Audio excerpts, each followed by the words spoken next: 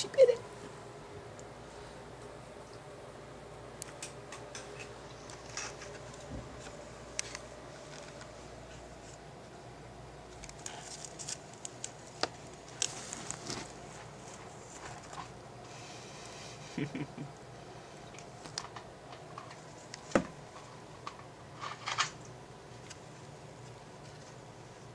You're so adorable, aren't you?